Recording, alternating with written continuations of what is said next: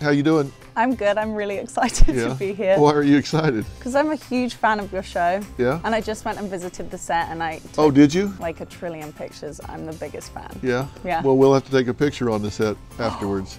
That would be my dream. Know, we can turn the lights on and everything. Really? So, do you watch the show? Yeah, every day. Yeah. Joe will tell you when I'm doing my makeup, when I wake up in the morning, basically anytime I have spare, I watch the show.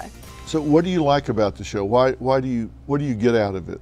Are you like a mental health advocate? Do you like that kind of stuff, I or do. do you look for train wrecks? I mean, what is it? I think uh, both. I look Yeah. for train wrecks and I'm really interested in mental health. Yeah. since I was like really young, we've had a whole mental health thing in my family.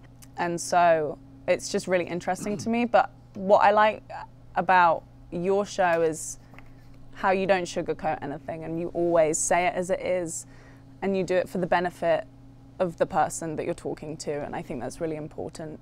You say that it's been an issue in your family. Was it like in your immediate family, or is this a generational thing? Uh, it's not a generational thing, as far as I know. I mean, Yeah. I'll find out later that my mom has something crazy or something, but no, it's my immediate family and myself as well. Yeah. Mental health problems. And so it's been something that's just been of the utmost importance in the past like five years in my life. And so I'm really interested in it. So, what's been your biggest challenge, mental health wise? Oof. Um, there's been a few things, but I think the biggest challenge, and I've had it for the for the longest out of all my mental health problems, is my depression. I've suffered with depression for about five or six years now, and the biggest challenge is just for me getting out of bed and getting out the house Yeah. and like learning to love yourself is is the biggest challenge. I Yeah. think. Now, you're 22, right? Yeah. And so, when you say like the last five years, did you not have any issues with it until you were like 17? Yeah, I don't. I don't think. I, I really don't think I had any issues with it up until I was yeah around 17, and then it all of a sudden just kind of hit me. Is there anything that caused it that you can think of? I mean, because that's interesting to me. Because you, are 10, 12, 13, 14, yeah, nothing, nothing. nothing.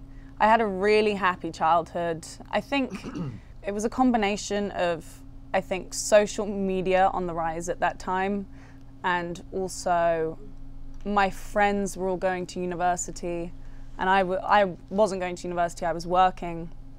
But I was still living at my parents' house, and so there was like, I felt very alone, and I didn't have, and my brothers were away at university as well, and so I, um, I think that was mainly it, Yeah. a combination of the two, So you have two brothers. two brothers, Are they older or younger? older, Yeah. How much older? Um, nine years and seven years. Oh, older. so a lot older. yeah, a lot older. Oh, okay. So were you like a mistake, or was this? I don't know. I've always asked my mom if I was a mistake, and she, I don't think she really tells me the truth. She doesn't want you to know, I don't think she wants me to know. but you may not have been planned. I might not have been planned. No, I Yeah. don't think I was. Does that bother you? No, that doesn't bother me. Yeah, because my boys are seven years apart. Really? Yeah. Is Jordan the younger one? Yes. Was he planned? Let me tell you how planned he was. After I had Jay, I had a vasectomy. What? Yeah. So. I don't tell people this, but I'm telling you because we're friends. Yeah. Uh, no, after Jay, I had a vasectomy because I can't believe I'm telling this. Robin, she wanted to have a baby. I didn't really want it at the time, and so after we had the one, I had a vasectomy, and then I did this kind of life skills seminar thing that I did sometimes, and she was there. And there were like 300 people there. We're in this big ballroom. I purposely stayed away from her. Yeah. She's totally across the ballroom but the ceiling was dome like a parabolic reflector where you can whisper in one side And hear it the other, yeah. side. It was a time where they were talking about any regrets they had. And I hear her whisper, I'm sorry to have one child. No way. And I'm like a hundred yards away. No way. And I hear that whisper in my ear. And I thought, oh, God. because to me, just having one was like on a scale of one to 10, it was a two. and to her it was like a 10. Right. So the next day, I'm at the hospital making rounds, and the guy that delivered Jay is a good friend of ours. And I'm telling him this because he had been through this thing I did. Yeah. I, I tell him when it happened and what happened, and he said, Well, you know, we could reverse that.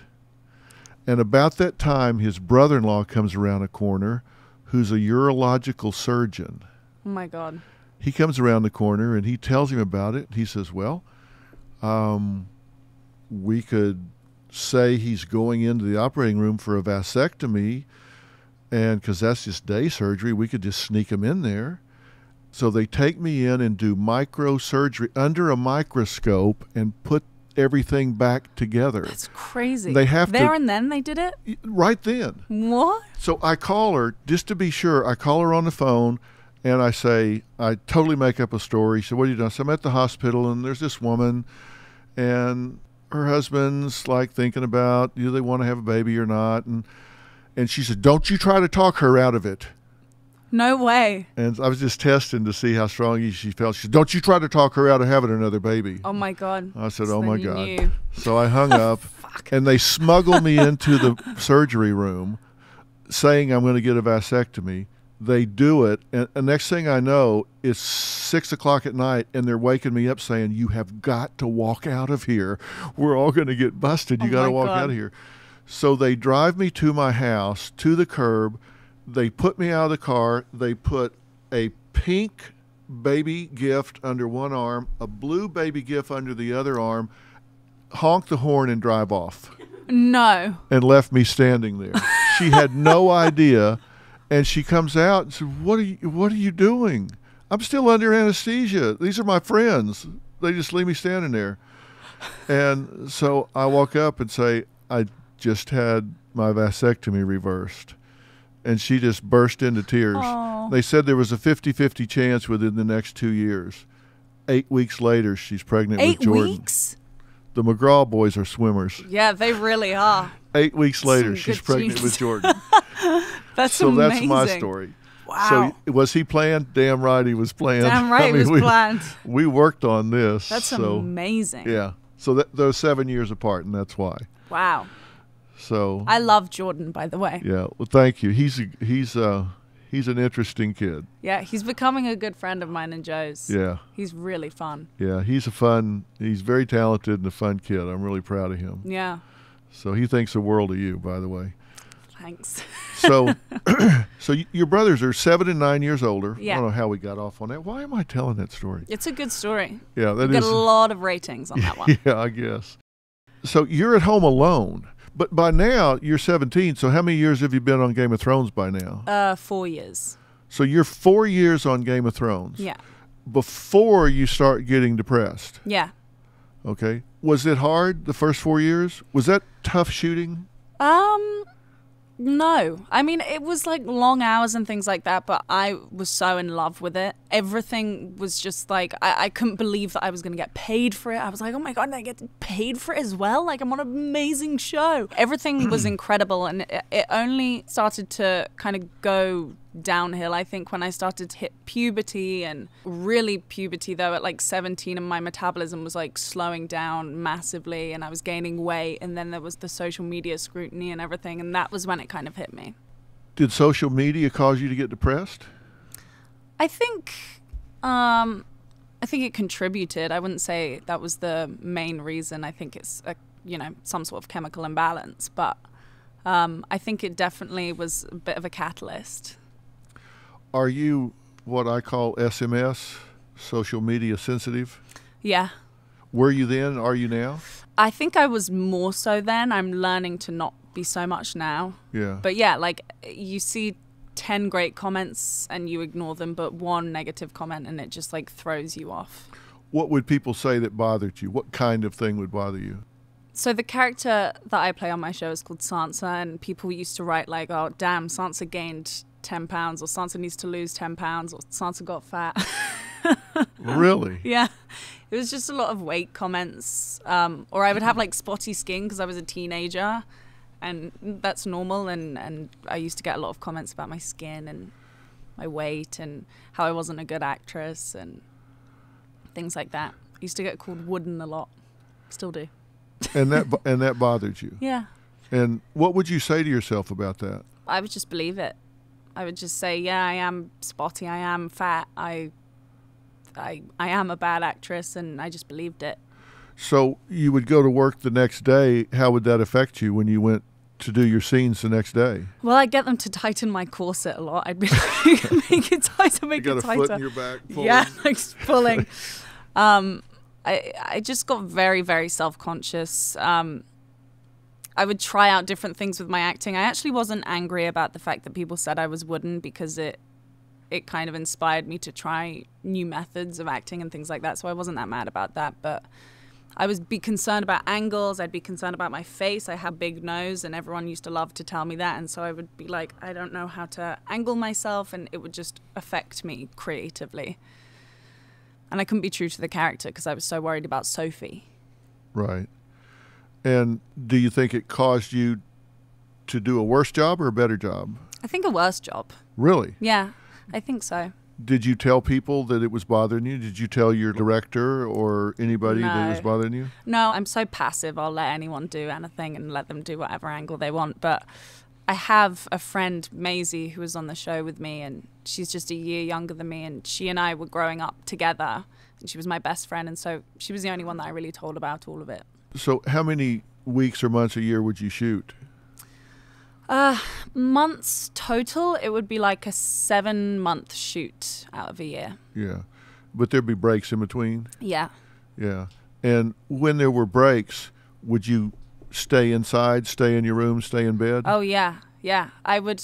As Maisie and I used to do it together. We were, I think, being friends with each other was quite destructive because we were going through the same thing, and so we used to get home from set, go to a Tesco's across the road, like a little supermarket, and just buy food and go back to our room and just eat it in bed. And we never socialized for about for a couple of years. Really? Yeah, we didn't socialize with anyone but ourselves. Yeah.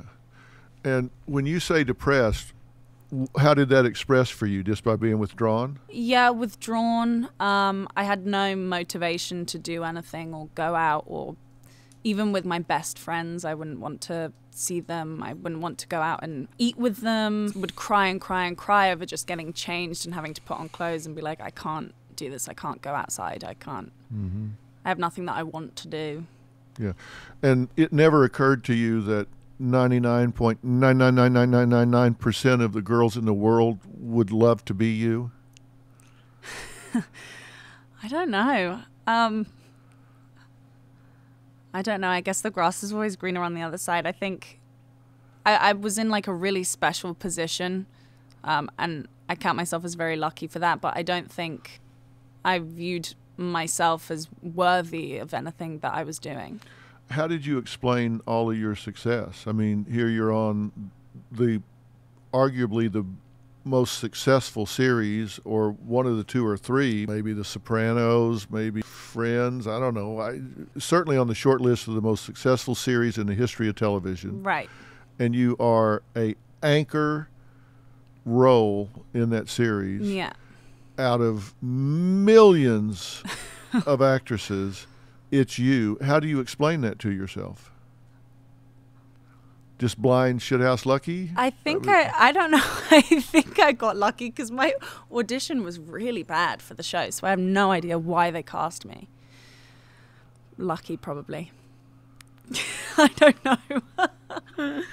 Yeah. And then it was also lucky that they kept that character in that role for seven years. How do you explain that? well, Because they, they kill everybody, they do kill everybody. It's true. but they didn't kill you. they didn't kill me, but um, I guess I was still alive in the book, so they had to. I don't know. I'm just making excuses. Well, I'm just wondering what your internal dialogue was, wh- how you explained it to yourself, because you said I was, I didn't, I didn't deserve it. I wasn't. So, uh, how did you explain that you were there? I don't know how I explained it. I was there, but like I am now, like I would just keep making excuses. Like the character is has a really long storyline in the book, so I thought, well, they got to keep her on because it affects the way that other characters interact with her and interact with each other. And I'd signed a six year deal, so they couldn't really kill me off. Yeah. yeah. So, did you have support? I mean, did your parents support you? Did I Yeah. mean, did they come and say, "Don't be depressed"? Did they get you help? Did they? Um, well, I didn't really, I didn't tell my parents until um, less than a year ago, and they started seeing my therapist bills coming through. And uh, that's when I told them. Yeah. So they didn't notice that you hadn't been out of your room in three months. Uh, no, because as soon as I hit 18, I moved to London Right. out of their house. And so um, then I could do everything on my own. And then you did. You, you would stay isolated. Yeah, Yeah. Yeah. So how do you feel now? I feel much better. Yeah. Why? I've been doing therapy at cast centers, actually. Yeah. I'm on medication and I, I love myself now. Or more than I, I used to, I think. I don't think I love myself at all, but I'm I'm now with someone that makes me realize, you know, that I do have some redeeming qualities, I suppose. And when someone tells you they love you every day, it makes you really think about why that is. And I think it makes you love yourself a bit more. So, yeah, I love myself. So I love myself. that's good. You said that like you meant it. Hmm. Do you still read social media? I try not to. No. Um, I mean, occasionally little things, but I don't. I don't let people tag me in photos on Instagram, and uh, or if they do, I can't see it. Um, and I try not to read comments on my pictures either, or on Twitter. But um, sometimes I do. Sometimes I have a cheat. yeah. And if you read something negative, does it bother you? Yeah, it does. It still does. It's still very sensitive for me, um, but not so much, not as much as it used to be, Yeah. because I don't believe those things anymore about myself. Yeah. You know those pe- you don't know those people, right? Mm, Yeah, I, mean, you realize them. you don't know anything about them, Yeah, I don't know anything about them. and they don't know you, No, and they wouldn't say that to you in an elevator. no, they wouldn't. If you were in an elevator with them, they wouldn't turn and say, "Hey, No, she gained eight pounds." no, I guess not. I hope not. no, I mean, really, they're keyboard bullies. Yeah, yeah, they're hiding behind their computers. Yeah, they wouldn't say that to you. They wouldn't even speak to you. They'd No. probably wet their pants. they got in the elevator and looked over and saw you. They'd pee their pants. I've always wanted to, like, find the people who wrote those comments and go around to their houses and be like, "Hey, say it to my face." Yeah. But I don't know if they would. They wouldn't. Well, let's go find one of them and see. Shall we? I would love that. yeah, just go. Hello, me again. So, what do you say to yourself now about yourself? Um, I mean, do you have an internal dialogue that you listen to? I don't know what I say to myself. I think, Really?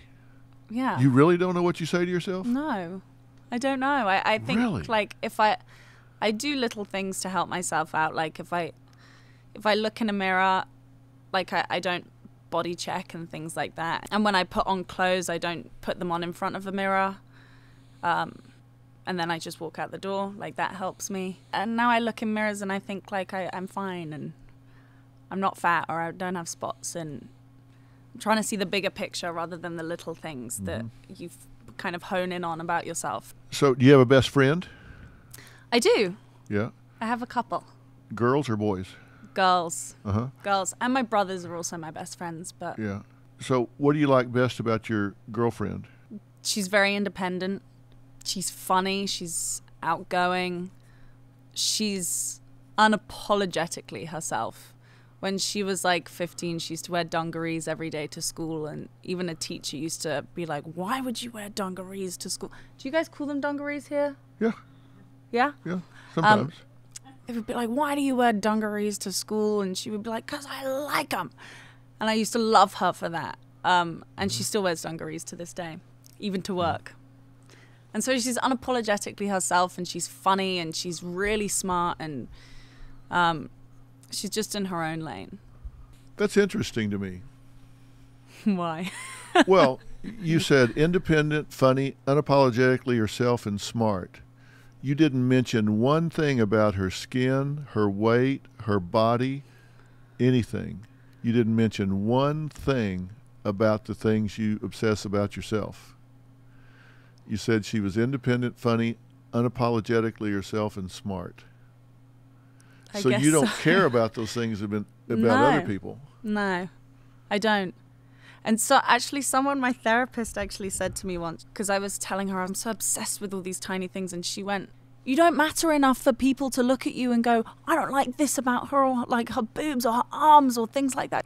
People don't care about it. People don't care about what you look like. And that really affected me. I was like, You're right. I'm, I'm so absorbed with myself that I don't even realize that that people don't look at the aesthetics, they look at who you are. But I was so absorbed with this and this. Yeah, my dad used to have a saying, and uh, he said you wouldn't worry so much about what people thought of you if you knew how seldom they did. I love that. That's a good quote. Yeah, it is. That's you, one to live by, actually. You wouldn't worry about so much about what people thought of you if you knew how seldom they did. and it's the same way with bullies. Somebody might say something to you in the cafeteria at school, in the eighth grade, or on social media, and they might say it to you one time. But you take over for them hmm. and repeat it Yeah. a million times. They say it once and you repeat it a million times. Yeah. That's why I ask you what you said to yourself because we talk at 125 words a minute and we think at 12 to 1400 words a minute. So somebody can say something at this speed Yeah. and then you think it at more than 10 times Wow. that speed so you can repeat it thousands of times a day. That's amazing. I didn't know that. You think at 12 to 1400 words a minute. Somebody can say, you know, she looks fat. You can repeat that thousands of times an mm. hour. Yeah. And that is what I used to do all the time, constantly. You can also repeat, you know, I'm a worthy person. I have value. I'm caring. I'm smart. I'm giving. I'm, you can repeat those things thousands of times an hour too. I'll try to do that instead. That's why I said, what do you what do you say to yourself? I was just curious what your internal dialogue was. Well, it's still, you know, still struggling a little bit. But I'm working on it. I'm getting better. So Yeah. hopefully, I don't know, by next year I'll be Yeah. I'll be thinking that all the time. So what do you do for fun? Um, well, that's another thing. I'm learning what my hobbies are nowadays because that was Yeah. something that I stripped away from myself for years because I would just do nothing and work. Um, so I'm really enjoying reading up on psychology and um, I want to study criminology. I want to do an online course, I think. And I like art. I can't paint, but I like doing it anyway. Mm-hmm. I'm a terrible drawer, so I like doing that. I like going to art museums. I'm trying to get back into ballet. Um, little things like that. I'm working on it. So do you do things outside?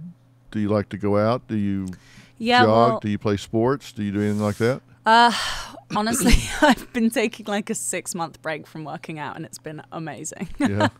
Um, but I like boxing. I, I live in New York now, so I, I walk around all the time because it's the only way to get anywhere. yeah. Um, so yeah, I do like being outside, very much. Yeah. So you're so interested in psychology. Are you, have you thought about doing things in the field of psychology?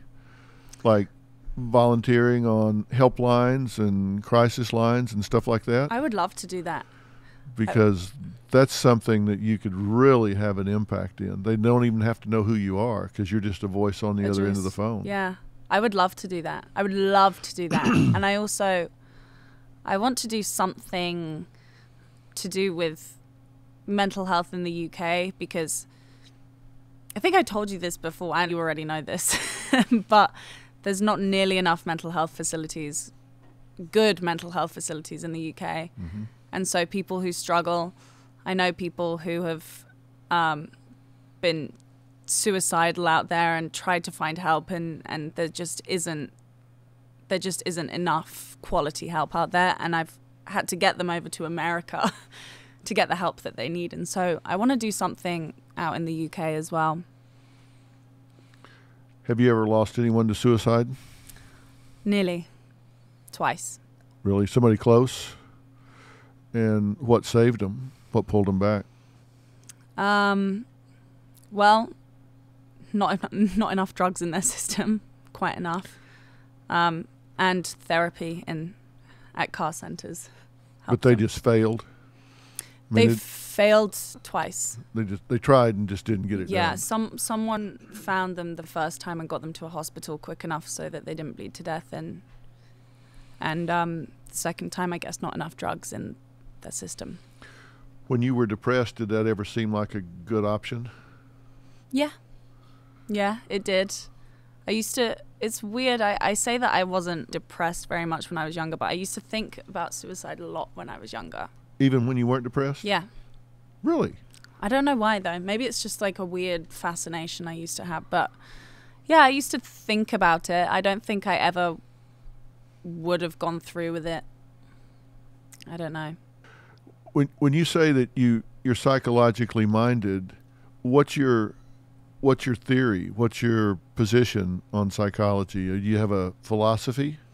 Uh, no, I need to learn more to have a philosophy, but I'm just really passionate about about it, especially as like an actor as well. I think it only informs your acting. Um, but I'm not doing it to inform my acting. I'm just fascinated in the study of why people are the way they are, why people are depressed, why people schizophrenic, why like all all of those kind of things. I'm just really interested in it and I want to know everything. Well, I've been fascinated since I was 12 years old with why people do what they do and don't do what they don't do. Yeah. It doesn't matter whether it's in sports or just life or whatever. Just think about what an edge you have in life if you understand that. Why people do what they do mm. and don't do what they don't do. Yeah. Because what people don't do is as important as what they do. Yeah. Failing to take action, failing to seize opportunities, seize moments, whatever is as important as the choices they make. Yeah.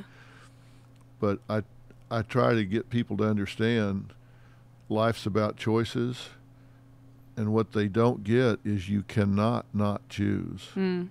Because not choosing is a choice. yeah. Whatever you're doing, if you say, Do I want to go or do I want to stay? Do I want to go here or go there or go there or go there or just sit here? That's your fifth choice. You cannot not choose. You always make a choice. Yeah. You make a choice about what you say next, you make a choice about what you do next.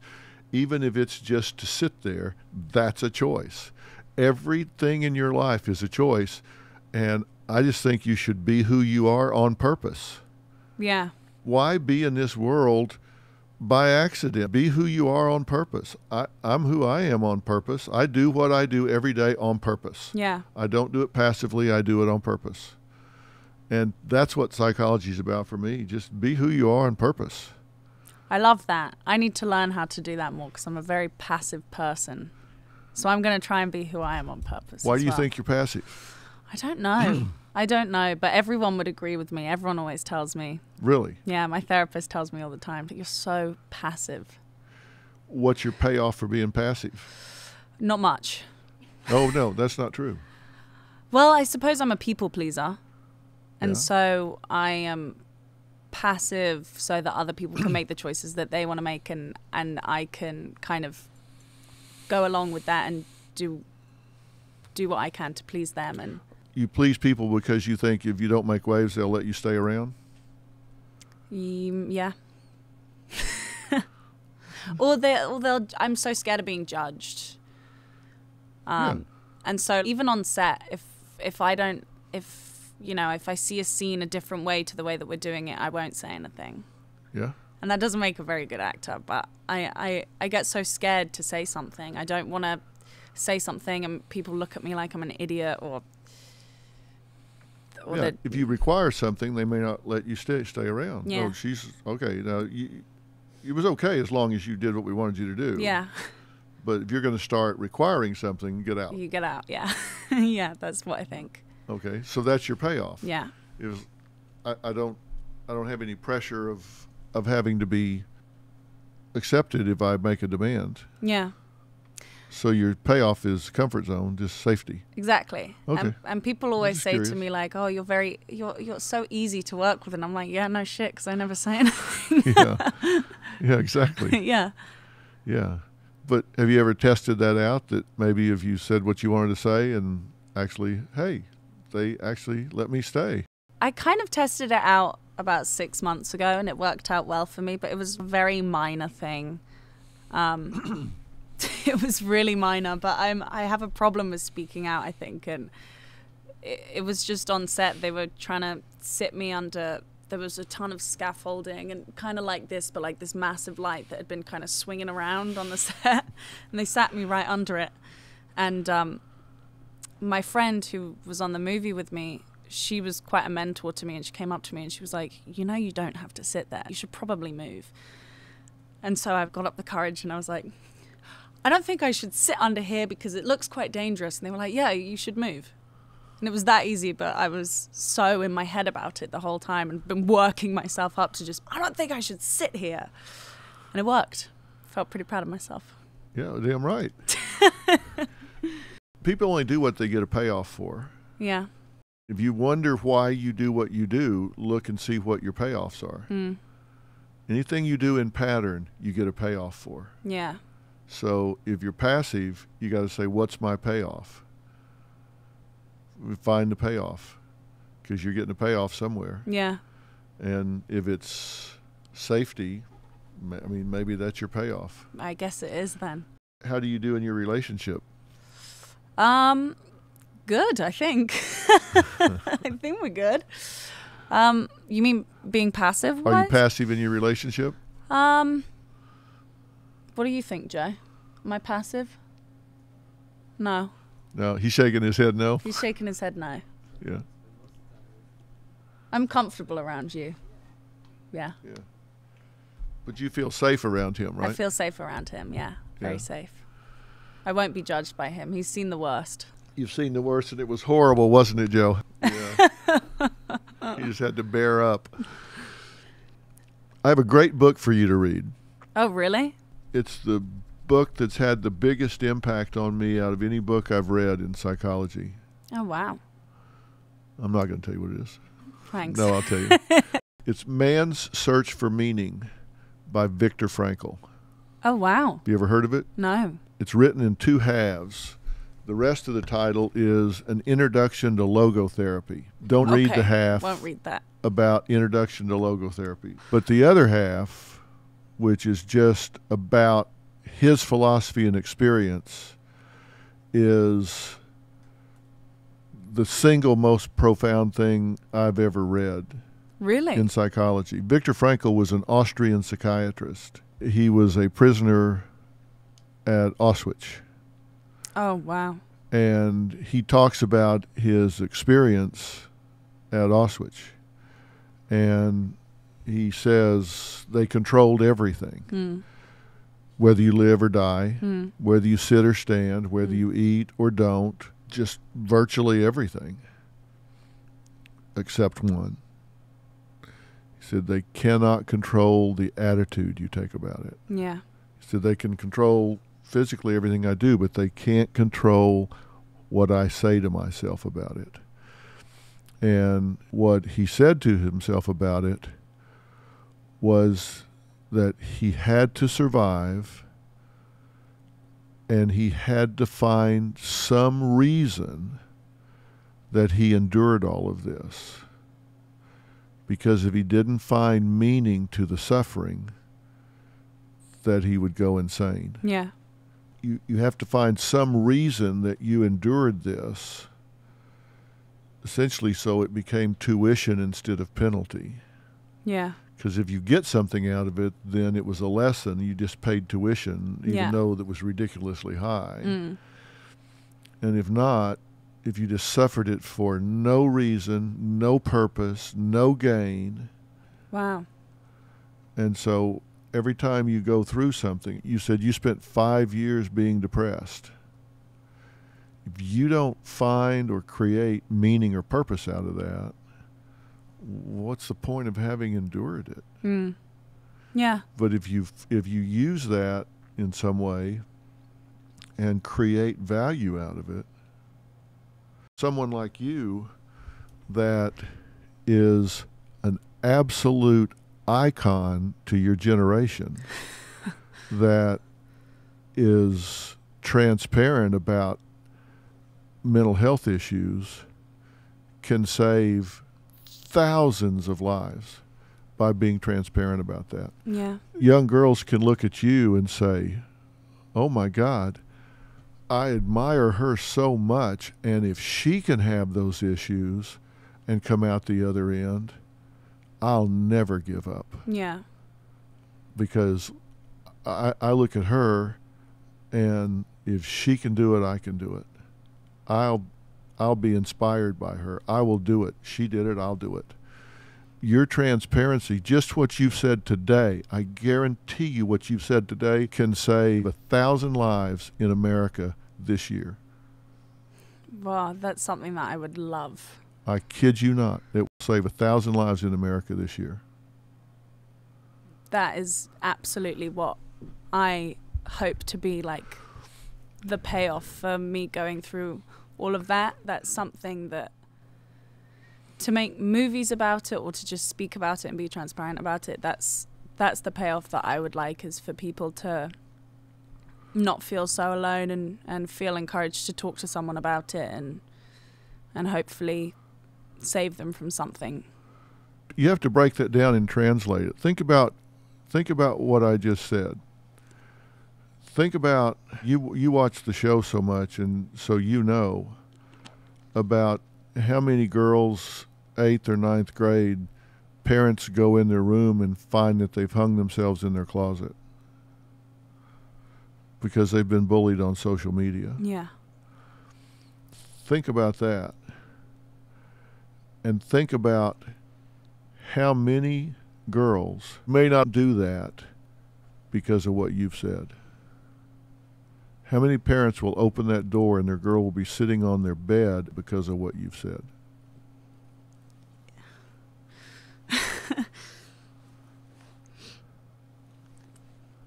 that would be nice. yeah. That would be the truth. And when we post this up, we're going to put the numbers for suicide hotline and you know the helplines and all. Yeah. I mean that's how powerful what you're doing can be. That's what I call creating meaning to suffering. I mean, if that happens, my God, I'll just talk about it all the time. well, I'm I'm serious. That's how powerful. You know, when you rise to the level of achievement, notoriety, fame, and admiration that you have, and then you use that to draw attention to something you're passionate about, it it changes the world. Yeah. Frankly, we can go get the lady that cleans up after we're gone. She can say that, and she is just a valuable human being as you are. Yeah but because nobody knows her, they won't pay attention to what she says. They will pay attention to what you say. I'm not saying that's the way it should be. I'm just saying it's the way it is. Yeah. And when you're willing to break the facade and not be Miss Perfect Billboard glam actress and be real, then people will say, "Oh my God, I don't have to hide this anymore. Mm. Because the number one thing that people do that are depressed is they withdraw. Yeah. And then they become inactive. Mm-hmm. Psychomotor retardation. They pull back and they stop doing. And then they see you and they say, uh, Why am I hiding this? Yeah. Sophie's not hiding it. Why should I hide it? Yeah. And she talked to Dr. Phil about it. She talked about these hotlines, these support groups, this help she's seeing a therapist. Why am I acting like it's something to be ashamed of? I admire her more than anybody I've ever seen. Why? And she's not ashamed of it. Why should I be? Yeah, and that's the thing. People Bang. shouldn't be ashamed of it. It's it's so many people uh, are kind of plagued with depression or anxiety or body issues. So many people, more people than people re- realize. And so, if people just spoke about it, if people just like opened up to their friends, even or their family, it would be okay. And pe- other people suffer with it too. And and all you do is you just have to speak to someone, and you can get the help that you need, and and you can like with therapy or or if it really comes down to it like medication you can you can change it like you can change that thing about yourself and people just need to know that it's okay to talk about it and and you know that's the thing. If you just you just said it give it a voice. Yeah. You don't have to do it alone. right now. Yeah. And it shouldn't be. No. If you hate your body, you know, I'm not into labels, but if you've got body dysmorphia or you just think you're ugly or you got acne or you're depressed or you have panic disorder or whatever it is, the biggest problem is people think they're the only one that's that way. Yeah. And they don't talk to anybody. And if you go tell your friend and they go, "Oh my god, me too." Yeah. Yeah. Then you go, oh, you know, like you said, Maisie, you guys used to talk. I mean, you shared some bond with things, right? Yeah, yeah. And misery loves company, but if you reach out to somebody that can help, and whether it's a counselor or a pastor or your family physician or your mother or your father or your brother or a friend, somebody, then, you know, hopefully there'll be somebody that will say, let me let me help you. And sometimes yeah. it just takes somebody listening. It sometimes it's very cathartic to just talk about it, right? Oh, completely. The best thing I ever did was just talk about it. Yeah. Even now, I'm getting therapy. yeah. It feels good to vent it, right? Yeah, it does. It's the think, best thing in the world because you yeah. keep it so locked up. Yeah. And it completely destroys you yeah. from the inside. And and it doesn't mean there's anything wrong with you. I mean, we're all hydraulics. We got all this stuff going on inside, and if we give it a voice, it's like monsters live in the dark. Yeah. And when you turn the light on, and you turn the light on by talking about it, and you yeah. go, oh, well, it's not so scary anymore. That's not so scary. Yeah. I mean, I said it, and he didn't run away. I know.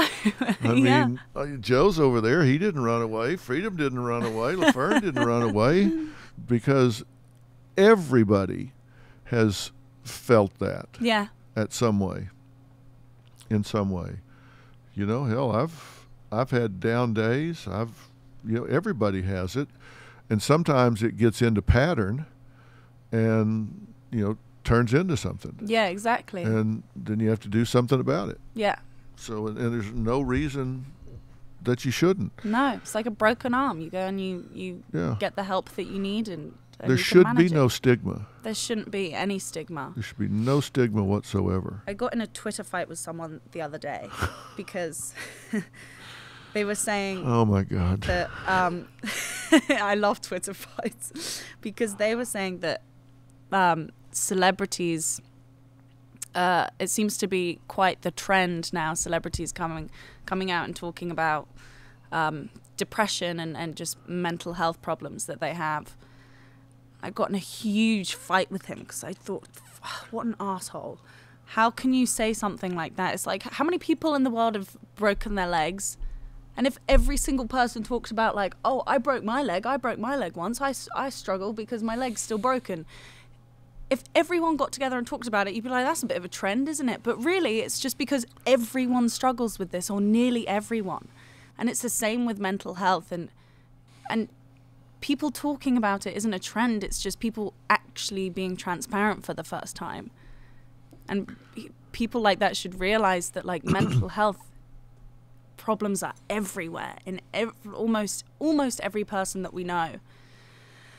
And um, I just think it's so important to talk about it, and I hate that guy. But you know, if he had a half a brain, what he would be saying is, thank all of the people that can draw attention to this for drawing attention to it. Yeah. Instead of criticizing, because thank everybody that does it. I know, because I thought, you know, you have, he has sons. And I thought, God, ima- imagine if your son is going through something right now and you're shunning these people back into silence on Twitter. Um, and he has a platform, and I was just like, what if your son sees that and then doesn't feel like he can come out to his own father and say, I'm Yeah. struggling through this? Yeah. How long did this Twitter fight go on? Mm, just like it, he went off longer than I did. He just kept going on and on and on about it, and Right. I'd said my piece. How Just- long did you spend on that? Um, how long did I spend on it? Like a whole day of, right? Forty-eight hours of Yeah. boiling over. Yeah. Well, I ask because that's 48 hours of your life you can't get back. Don't waste your time on those idiots. I know. it's so true. You're right. But, you know, Oprah said something once that I thought really stuck with me. We were in her office, and I think E.T. or something was on. It was showing some red carpet. And, you know, she's probably the biggest celebrity ever. And she said, You know, I never feel like they look. That's interesting. I never feel like they look.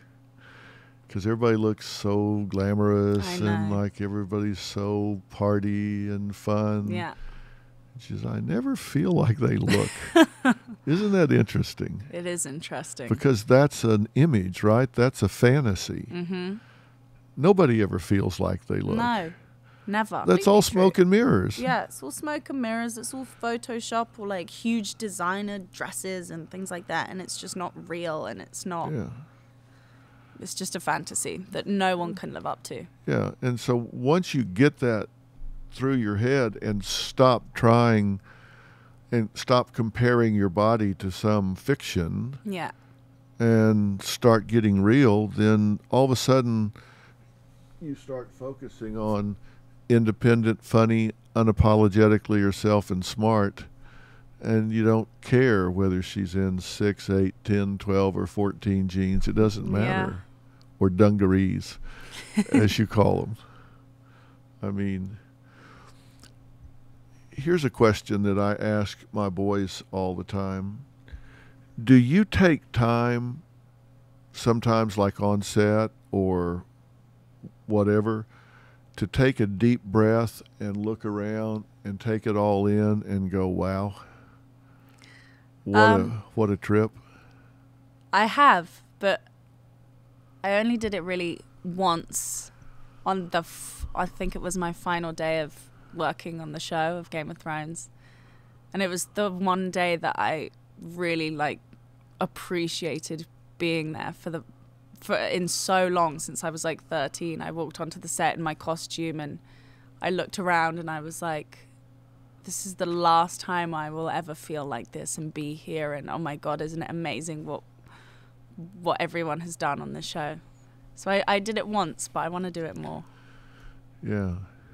But I think only when things come to an end do you really start to appreciate them. No. Well, not my relationship, I guess. yeah. I still appreciate you, and we're not coming to an end. So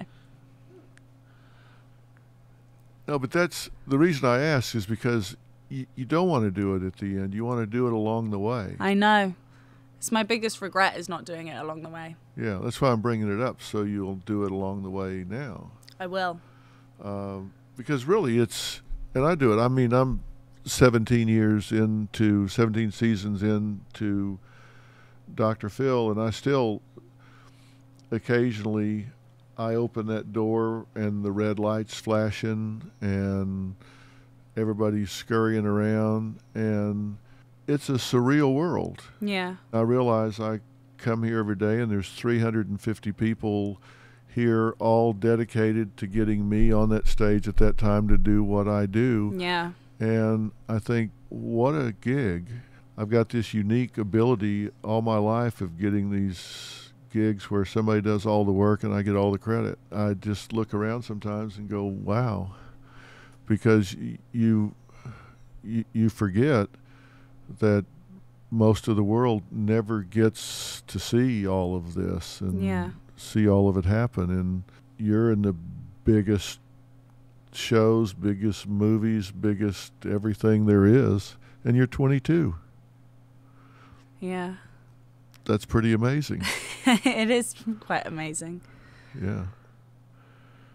And it would be terrible if you didn't take time to enjoy enjoy it I know. I while should. it's happening. I know. I should. I should have done that with Game of Thrones years ago. Yeah. But I'm gonna do it with everything, everything else from now on. I think. You promise? Promise. Yeah. So what's next for you? What's next?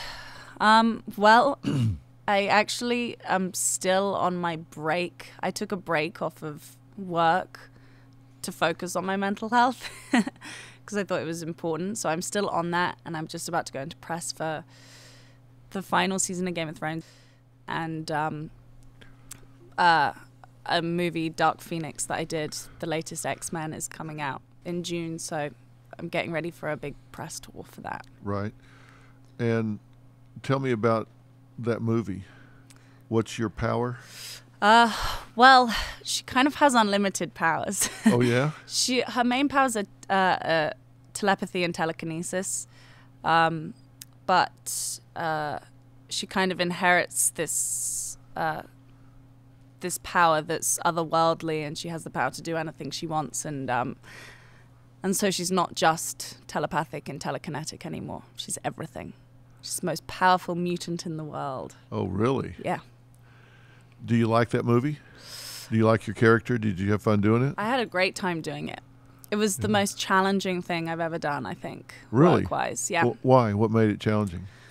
Um, it was just an abundance of um, traumatic scenes and emotionally draining scenes, and um, and actually, we we kind of tried to find links between um, the things that she was going through, and to ground it, we we tried to find links between her fantastical things that are going on in her head and schizophrenia and dissociative identity disorder and things like that.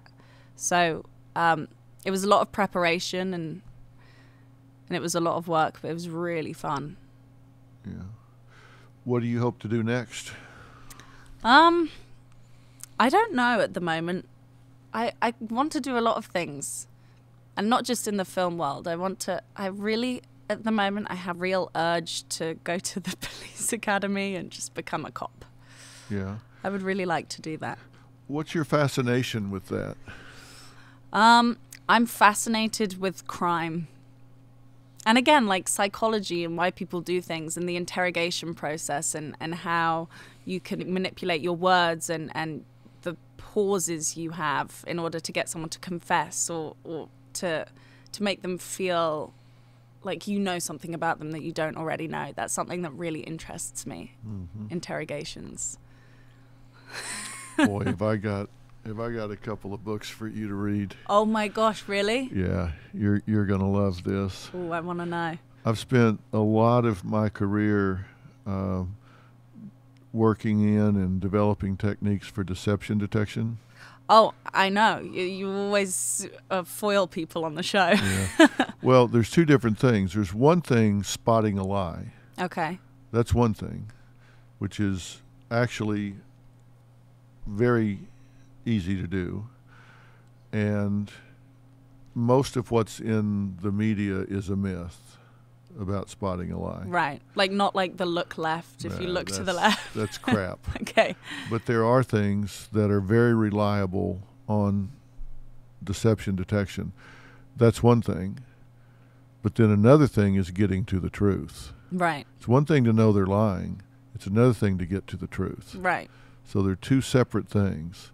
And I think you will really find it fascinating Wow, I would love to read that to understand how to how to how to get um, how to interrogate. And it is not what people think. Really? It is not what Wow. people think. I would love to find out about that. Have you detected anything on me? I think you've been very open. I have been. You, I, I think you've been very, very open, and I, I don't think you've um, I, I, I I don't think you've hidden anything that I've asked you about. no. So, is there anything you want to talk about that you haven't talked about?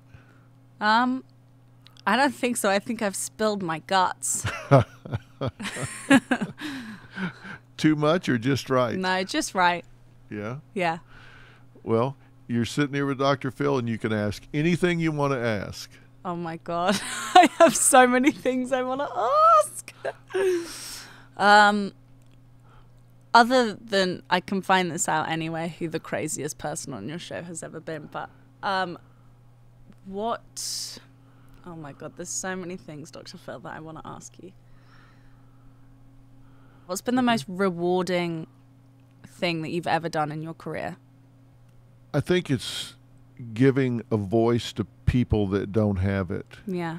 um, which is particularly children, because when I see kids that are caught in the middle, or kids that are being abused Mm. or neglected, and they don't have the power to change it, uh, or women that are caught in domestic violence.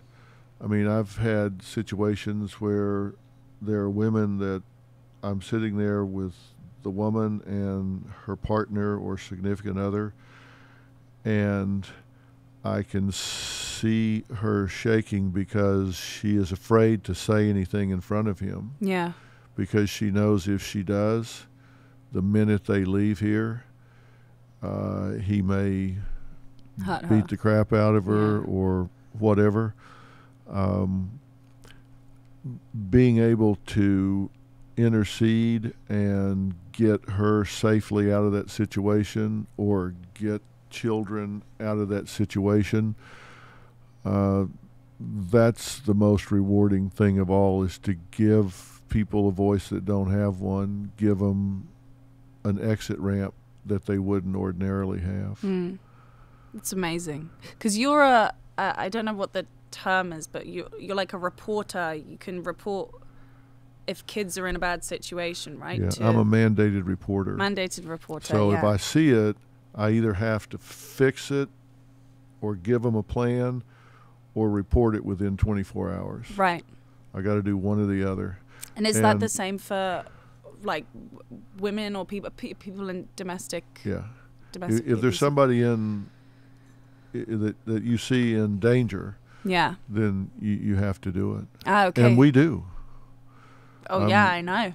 I mean, we we we call and turn them in. That's amazing. because I'm not I'm I'm not going to do it. I'm not going to let them stay another night in a situation like that, and I, I can't go home and, and knowing that some kid is going back into a dangerous situation. Yeah. Not and I love it. that you do that even with stories that I'm just fangirling, but like on your show when people come in and they have their kind of story, um, and it, it's not about the kid, it's not about a, a child in any way, and then you immediately see that there's a problem in another department. And you get that child out of that situation, even though they weren't even brought up in the conversation. And I think that's Well, it's it's really astounding to me that people will come in and their kids are in such harm's way or in such chaos, and I'm halfway through the show and they've not said. Neither one of them have said, "What can I do to help this situation?" yeah, They're just assassinating the character of their partner. Neither one of them have said, "Tell me something I can do to improve this situation." yeah. I, I think what they do on the show is a microcosm of what they do in the real world. Mm. So I see, Yeah. this is what's happening at home. Yeah.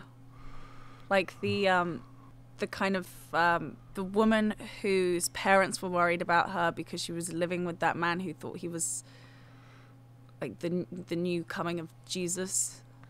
Yes. Yeah. Yeah. And the kid and the their kid was on the side of the road asking for money Yeah. with the mother. It's Yeah. crazy. Put him out panhandling. Yeah. Who does that? I know. It's insane. Who does that? Who loses their way that much that Mm. they put their kid out there? Yeah. But that's when you go home and feel like I did a good thing today. Yeah. That's when it's a good tired. I think that's why I love watching your show because I always think at the end of it, I'm like, good old Dr. He's done it again. He's done it again. well, I've got good books for you to read if you'll read them. I will. I've got a fun one for you to read too. Oh, really? It's called 400 Things Cops Know. Oh my God, I love it already. You'll love that. okay. It's fun stuff. Like they tell you what the kill zone is. Oh, wow. It's where you never park. Really? Yeah, like when you go to a domestic. Wow, that's so interesting. It's like you never park. They say this is the kill zone. If somebody's going to get shot, it's going to be in be this zone right here. Wow. Never park in the kill zone. That's amazing. 400 things cops know. Okay, done. And uh, and they and one of them is who's your best friend? You think it's your partner. They say nope. It's that shotgun bolted in the middle of your car. Oh my God.